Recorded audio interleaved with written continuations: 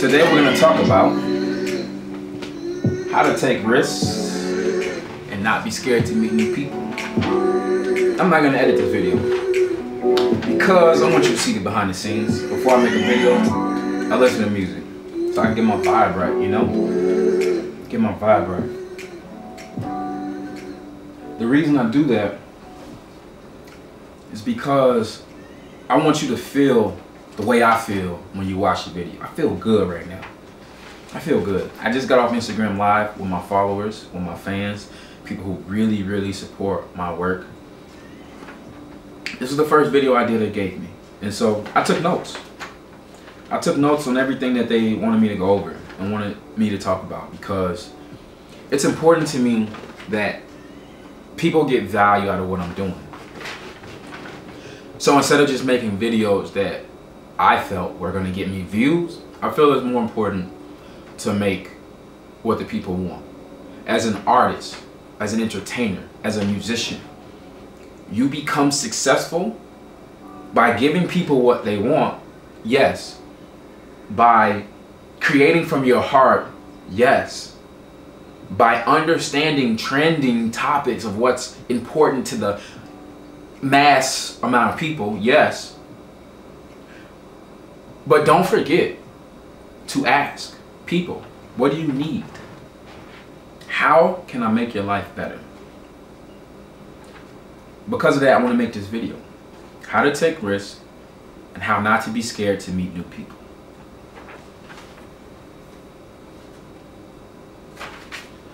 The first thing I, wrote down is that fear is normal. I put that as number one because it was the first idea that came to my head. A lot of people have fear, right? They fear meeting people. They fear making new friends. They fear liking someone and that person rejecting them. Those fears are normal, right? So we have to understand that those are normal fears. Having a fear of something is normal. I know some people try to preach as if you can eliminate all your fears and get rid of your fear. Fear is uh, what is it? Uh, what, they, what what's that phrase they use? Uh, fear is false evidence appearing real. That sounds great for an Instagram quote. That is not real life. That is not practical. That is not going to inspire someone to create to put themselves out there to do what they need to do. So I'm going to tell you real life. I'm going to be honest with you. I'm going to be raw with you. I'm going to be transparent with you because when you see my face, when you see my name, I want you to understand that I'm going to give it to you raw. I'm not here to appease you. I don't want to give you poetry that just makes you feel good. I want to give you things that help your life. I want your life I want your life to be better than it was yesterday. I want you to be happy. I want you to get the girl, to get the guy you want. I want you to get the job you want. This means a lot to me. When I struggled in life, I did not have a lot of people there for me all the time. But the people who were there for me, they gave me value and never looked for anything in return. That is what I'm trying to do with this video right now. How do you put yourself out there? You put yourself out there by doing stuff like this. This is a raw video. I'm not editing editing the video because I don't want it to look professional. I don't want it to look like I'm presenting my absolute best because I'm not. I don't know if you can see my pants. I'm wearing sweatpants with no socks. I was getting my hair done yesterday.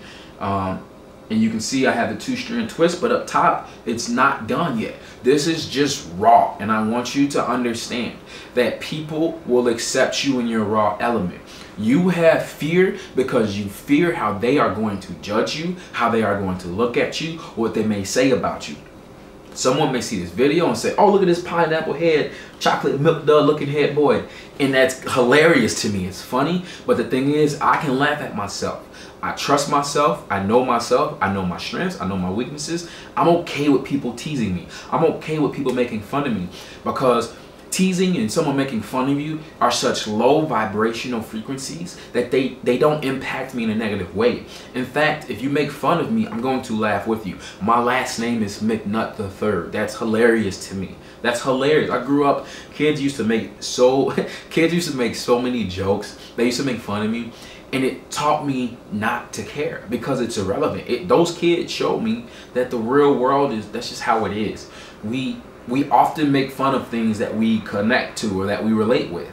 Or we make fun of things that we don't understand, that we're confused by. And either one of those are perfectly okay with me. So my challenge to you is you're probably scared to put yourself out there because you're trying to present this perfect person so you can be accepted based on what you think other people want to see. And you don't have to do that. You can put yourself out there with your flaws as raw as you are, with your strengths and your weaknesses, and people will accept you as you are. People will be friends with you as you are. People will date you as you are. But you can't do that by masking it. You can't present a uh, fictitious character over here and then be this person over there. It does not work that way. You have to present yourself as this kind of person. Hey, this is what I'm good at. This is what I'm bad at. This is what I'm working on. I need help here okay and and i'm humble i can humbly admit that i'm not the greatest person i'm just a human being once you present who you truly are to people then it's to match over here then they can accept you because the worst thing you can do for yourself is present this perfect person this idealized I probably didn't say that right. This ideal of who you want to be, and then people meet you and talk to you and interact with you, and you're way over here somewhere. It doesn't match. Step number one, understand that the fear is normal. Appreciate yourself as you are and, and put yourself, be willing to have the mindset that it's okay for me to put myself out there raw without being edited. Now, the rest of my videos I might edit, but this one is not going to be edited. Number two. Okay, this is great. Don't think about the risk. Now, whenever someone tells you don't think about something, that's not realistic advice here's what they should be saying. Don't think excessively about it.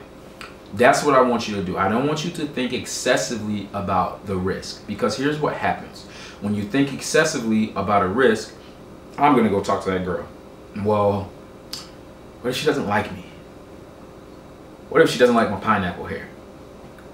What if she doesn't like this denim shirt? Now you're creating anxiety you're creating these alternate loopholes of realities of things that may happen. Don't do that.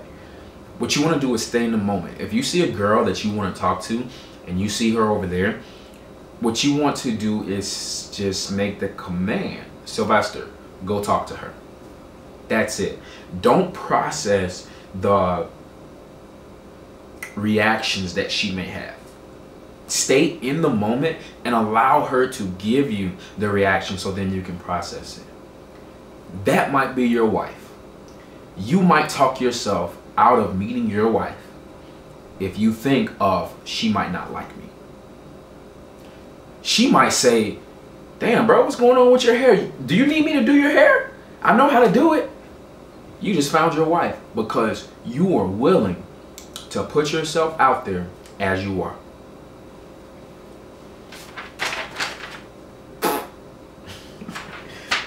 Number three.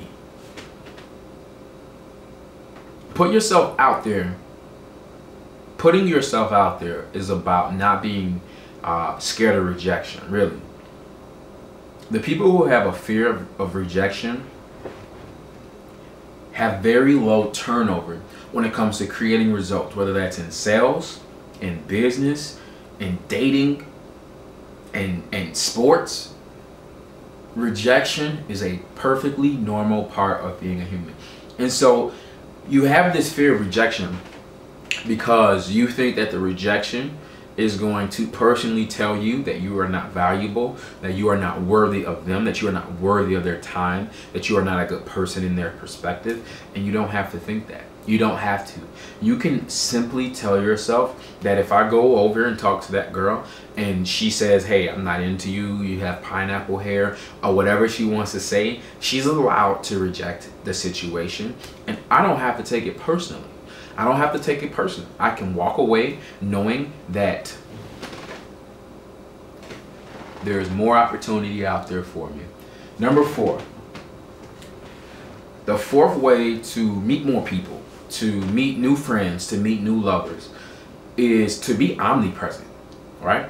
Put yourself out there more. So, so what does that look like? If I wanted to find a girlfriend right now, I'll tell you exactly what I would do. And I think that this can apply for men and women.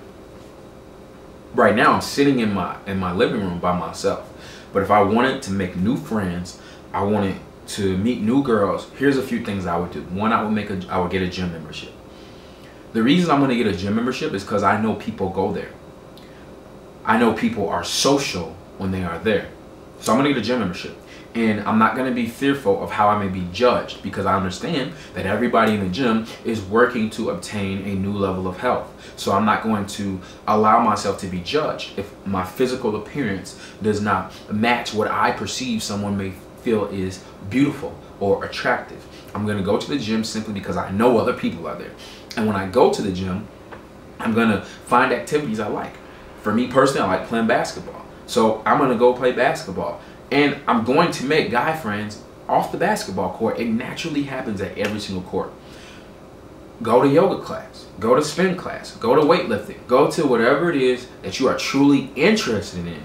And what's going to naturally happen is you're going to meet you are going to meet people who are naturally interested in what you're interested in. And those are the best type types of friendships because now you guys share a bond, right? Don't go in yoga class looking for a girlfriend. Don't do that. Go to yoga because you genuinely, genuinely like it. And what's going to happen is over time, you will meet people who are interested in it, right? And then the possibilities are endless. The second thing I would do is I, I would limit my time on my cell phone. If I'm in a position where I want to meet people, I want to get out in the world, I want to maybe meet a girl or make new guy friends or even female friends, doesn't matter, same thing to me. I have to get off my phone less, right? We spend too much time doing this, right? Look, look at this.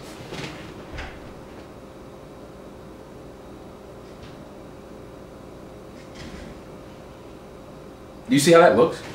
I'm literally focused on what's happening right here. I, I'm creating tunnel vision here, and then I'm not seeing all of this. So, you get your notifications, right? And then, uh, I don't know how to clear them. Well, these are my notifications, right? You think I have time to sit through this all day? No, I don't have time. I don't have time to sit through that, right? Check your notifications, boom, move on, and come back to the real world. Spend less time on the cell phone. And I'm gonna end the video right here. I'm gonna give you the third thing that I would do right now. Um, I would definitely go to the gym. I would spend less time on my cell phones. Oh, this is perfect. You already have a network, no matter what you think. You already know people now, right? Maybe you work with them. Um, maybe you have some Instagram or Facebook, Twitter followers. Uh, you know, maybe you're on LinkedIn. You already have some type of network. It's 2016. I know you do. Maybe you're watching this in 2017 since this is December. Learn how to leverage the network you have. You want to get invited places. If you know somebody in your neighborhood, invite them out. Even if you're not friends, just say, hey man, I'm going to happy hour at this Chinese food place. Um, come on out. Let's let's let's you know let's bump heads for a little bit. Let's uh let's let's let's pick each other's brains. Even if you barely know this person, invite them out to a safe place outside of your house. You know. You do this consistently over and over and over, and what happens is people start inviting you places. If you never invite someone anywhere, how could you expect to be invited somewhere? The more you get invited, the more opportunity you have to meet new people. So it's about putting yourself out there, putting yourself in situations where you will be able to meet new people. Really hope you like this video. Um, I'm about to make some more videos with the same type of hair. and it is what it is. I hope it helped. The other videos probably will be edited because they will be much shorter, much more concise, but it's all good, man. I hope I helped your life today.